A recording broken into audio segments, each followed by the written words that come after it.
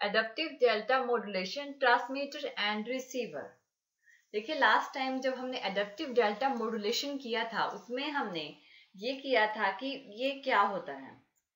जो delta modulation है, उसके जो ओवरफ्लो लोड की वजह से स्लोप ओवरफ्लो की वजह से और ग्रैन्युलर नॉइस की वजह से जो डिसएडवांटेज थी उसकी, उसको ओवरकम करने के लिए एडप्टिव डेल्टा मॉड्यूलेशन किया था।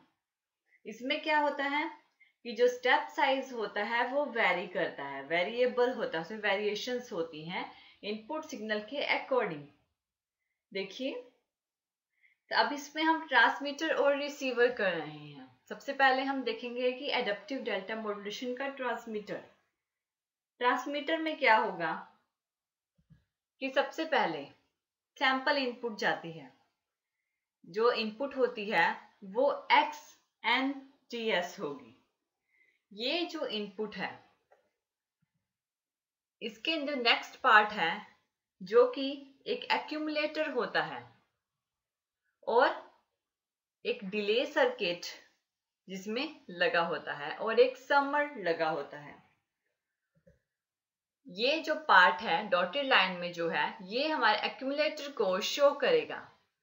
और दूसरा होता है वन बिट क्वांटिजर यहाँ पे क्या होगा कि ट्रांसमीटर की बात कर रहे हैं तो क्या होगा कि स्टेप साइज़ इंक्रीज और डिक्रीज होता है, जो डिपेंड करता है वन बिट क्वांटिजर आउटपुट पे। अगर एक बिट क्वांटिजर आउटपुट हाई होती है तो जो स्टेप साइज़ है, वो डबल हो जाता है। जो नेक्स्ट स्टेप साइज़ आएगा, वो डबल हो जाएगा प्रीवियस के कंपैरिजन में। और अगर one bit quantizer output low होती है तो स्टेप साइज़ रिड्यूस हो जाता है नेक्स्ट स्टेप के लिए। लो से अगर नेक्स्ट स्टेप लो होता है तो वो रिड्यूस हो जाता है। तो इस तरह से ये वर्क करता है। लास्ट टॉपिक में हमने इसकी वेव फॉर्म्स की थी। अब यहाँ पे सैंपल सिग्नल जाता है सैंपल इनपुट अब क्या होगा कि ये तो वन बिट क्वांटिजर है, जिससे आउटपुट वन बिट की आएगी। क्या इंक्रीज हो और इंक्रीमेंट और डिक्रीमेंट लगती है? यहाँ से जो आउटपुट आती है ये आउटपुट देखिए, यहाँ पे जो होगी ये ई एन टी एस जो कि एरर को शो करेगी। यानी जो प्रीवियस और जो प्रेजेंट इनपुट है, उन दोनों का डिफरेंस जो कि ई एन टी एस होगा, जो कि एरर से शो किया जाएगा। और क्वांटिजर आउटपुट जो आएगी वन बिट क्वांटिजर आउटपुट उसको B N T S summer पे प्रोवाइड कर दिया जाएगा। आगे यू एन टी एस जाएगा यू एन टी एस क्या शो करता है? जो कि प्रेजेंट सैंपल अप्रोक्सीमेशन है। अब यहाँ से डिले से जाएगा तो U N minus one T S जाएगा।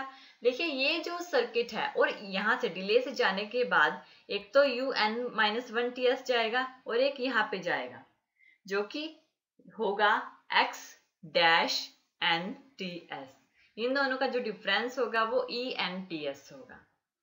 अब इसके अलावा इसमें एक और सर्किट जुड़ा होता है। ये जो सर्किट है, ये कंप्लीटली डेल्टा मॉड्यूलेशन का है। लेकिन क्योंकि एडप्टिव डेल्टा मॉड्यूलेशन में इंक्रीमेंट और डिक्रीमेंट होती है वेव फॉर्म के अकॉर्डिंग स्टेप साइज़ में तो इसके साथ logic for step size control circuit connected होता है, जो कि यहाँ पे होगा। यानी यहाँ से यहाँ से जो आउटपुट आएगी, वो लॉजिक स्टेप साइज़ कंट्रोल पे जाएगी, जो कि स्टेप साइज़ को कंट्रोल करेगी और क्वांटिजर से फिर आउटपुट पे आएगी। इस तरह से एडेप्टिव डेल्टा मॉड्यूलेशन का ट्रांसमीटर वर्क करता है, जिसमें जो डेल्टा होता है, उसके वेरिएबल स्टेप्स होते हैं वेरिएबल साइज़ होते हैं।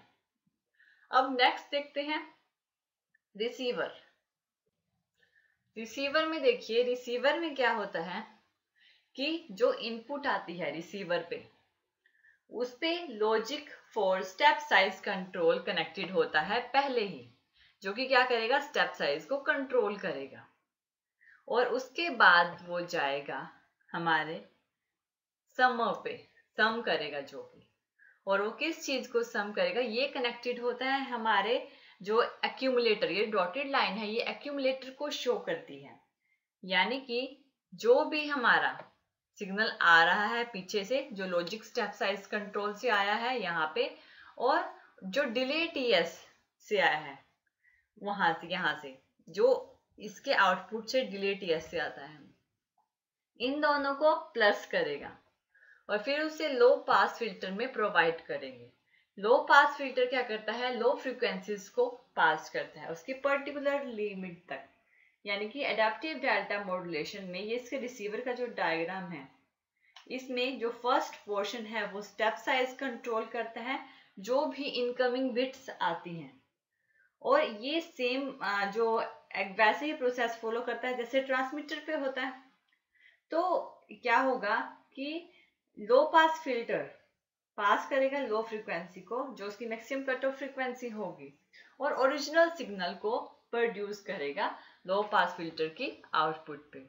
ये रिसीवर होता है एडेप्टिव डेल्टा मॉड्यूलेशन ट्रांसमीटर का।